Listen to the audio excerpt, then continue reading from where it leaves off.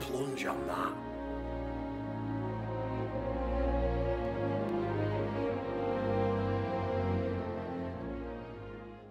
Oh, Christ.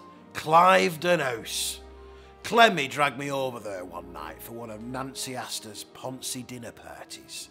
Nancy Name Dropper, I used to call her. All these so called celebrity friends, and by God, didn't we know about it?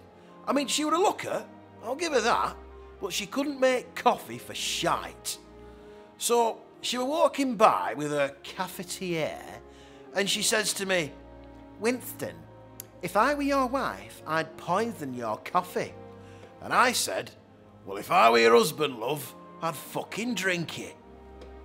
Anyway, as it turns out, she did poison it. And I drank it. And it were fine. Actually made the coffee taste better.